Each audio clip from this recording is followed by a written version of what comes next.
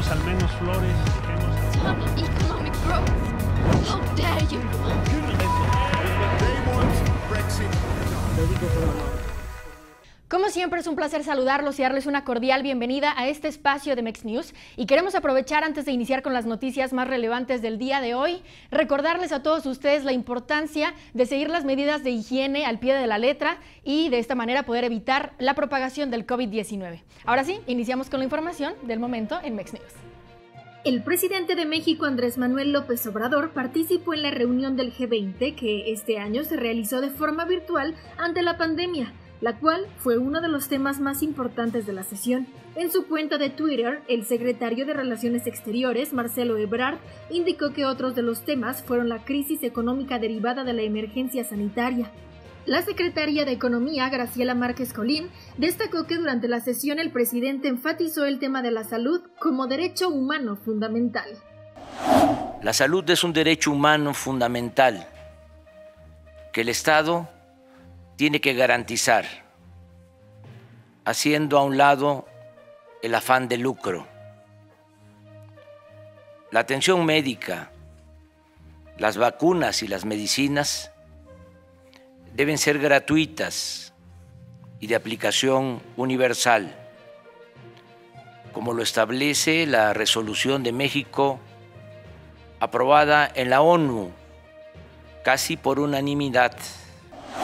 En la Ciudad de México, unas 20 personas ya han sido vacunadas contra el COVID-19 como parte del protocolo internacional de pruebas de Cancino, según informó la jefa de gobierno Claudia Sheinbaum. La mandataria capitalina indicó que prepararán un esquema de aplicación en toda la ciudad y sus más de 9 millones de habitantes para cuando la vacuna esté lista. La Secretaría de Salud informó que Chiapas se convirtió en la segunda entidad en pasar en semáforo verde junto a Campeche. El director general de promoción de la salud, Ricardo Cortés, detalló que dos entidades se encuentran en rojo, 14 en naranja y otras 14 en amarillo. Explicó que Nuevo León, Coahuila, Zacatecas, Aguascalientes, Querétaro y la Ciudad de México son las regiones que están cerca de regresar al semáforo rojo. Durante una ceremonia, personal médico y de enfermería que ha destacado por su combate al COVID-19 recibió la condecoración Miguel Hidalgo en grado cruz. El acto fue encabezado por el presidente Andrés Manuel López Obrador y entre los condecorados estuvieron dos médicos del Instituto Mexicano del Seguro Social.